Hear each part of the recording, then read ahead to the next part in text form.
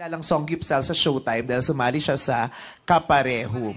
Na ang istorya nun, ikaw ang nagsali sa kanya. Kaya nga, eh, nagsisi ako eh.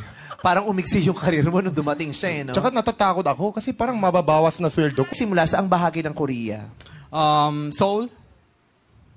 Seoul. Suwon, yeah. Ikaw, Soul. pareho, saan sa Seoul?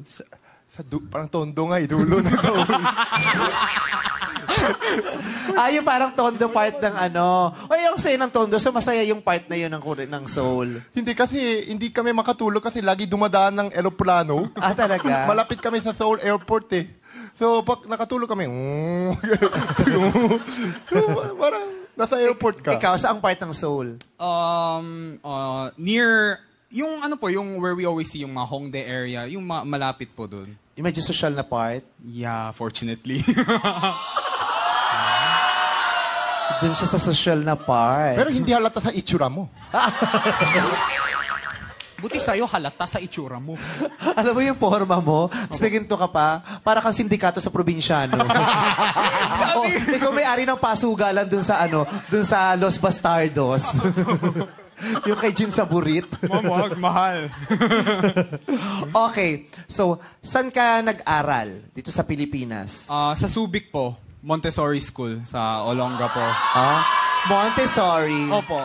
Saan ka nag-aral dito sa, sa Pilipinas? Sa Pasay. Ano pangalan ng school? St. Mary of the Udo School. Tapos naglipat ako. Ano, St. Mary of the... Udo School. Uds. Uds. Ano, Uds? St. Mary of the Uds School. Ano yung spelling? W-O-O-D-S. Woods! Woods. Uds. Woods. Uds. Sabi ko, Woods. Ah, parang ampon sa akin dito, yumaman, bigla yung negosyo. Pina- Bekla? Bekla siya? Yumamang Bekla? Yuma- bigla. Ah, yumaman bigla? Kala ko yung nag-ampun sa'yo, yumamang Bekla. Pinapaaral niya ako sa international school. Ano pangalan ng international school? Ridley International School. Ay, social yun ah, yung Ridley International School. Magkano ang tuition dyan? Di ko alam eh, siya nakbayad eh, yung nakampon sa akin. Pero ako yung naging student council president.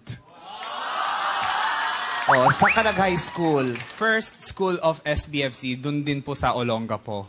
Anong pangalan? First, F-I-R-S-T. Ah, kasi una, kaya first ko.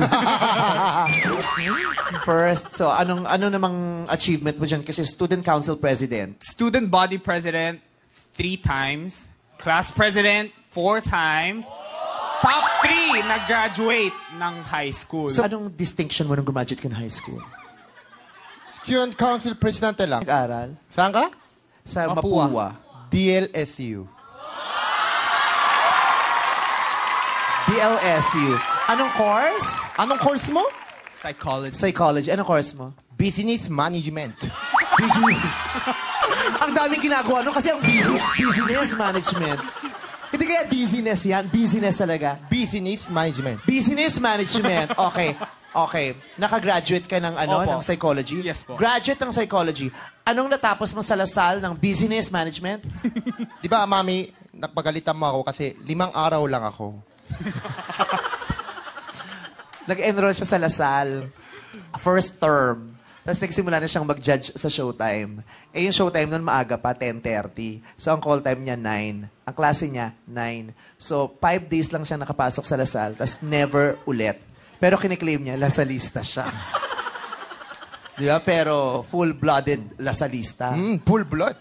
After graduation, eventually, Yes po, ng nag-vlog YouTube. po. Eh, ito, YouTuber na rin to. Vlogger na sa YouTube. So, ilan ang followers mo sa YouTube? 660,000 lang. Oh, o ikaw. Ang sakit, mami, ah. Di ba? 400. Ha? 400. 400. 200 yung lamang mo. 400,000. Yes. Malay mo naman. Fi- ah, 50,000 subscriber pa sa Showtime. Tapos nung sinabi niya unsubscribe, ayan, biglang lumaki 200,000 agad. Kaya Lumaki sabi din, mo lang, lumaki din ulo mo tsaka mukha mo. Malaki talaga. Ah, Eto, shh. Matagal na to, divorce.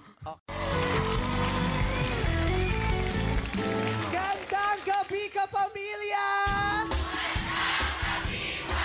Yes! Magandang, magandang, magandang gabi at magandang, maganda tayong lahat.